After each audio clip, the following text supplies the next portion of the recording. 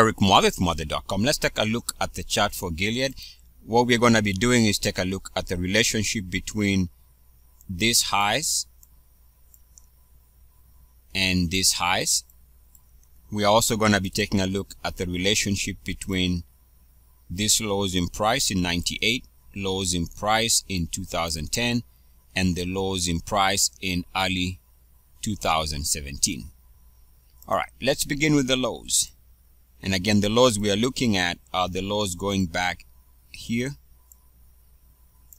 these laws, and these laws.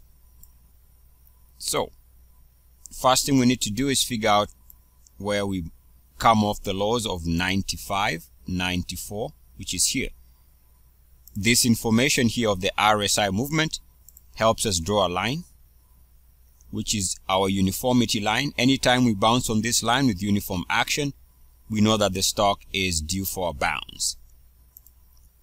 This held with uniform activity for the lows of 98. Uniform activity here in 2010 for those lows. Uniform activity here for the lows of 2017. So clearly the stock has a memory of this line. All right, now switch gears here a little bit and take a look at the highs here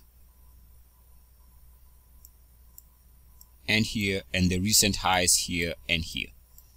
All right, let's do that. So we can see that if we draw a line here, we get a break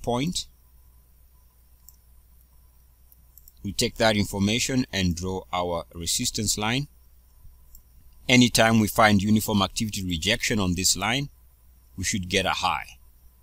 Rejection for that high, rejection for this high. Now we can do something similar, which gives us the recent highs also, which is draw a line here. And then from there, that break point we can draw a line like that. That's the uniformity resistance line. Anytime we have uniform activity rejection here, we should expect a multi-month pullback, which give us that high.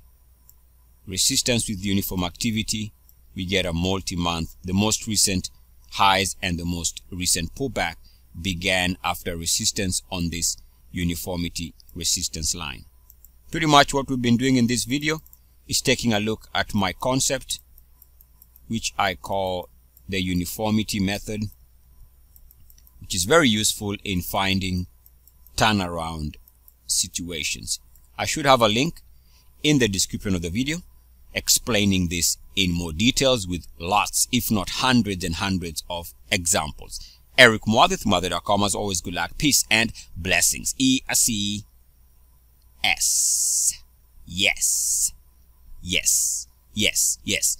Yes. I'll call you right back. Yes. Yes. No. After, no, no, after the market close. Okay. Yes. I'm just joking. See you guys. I am out. Mwah. Woo.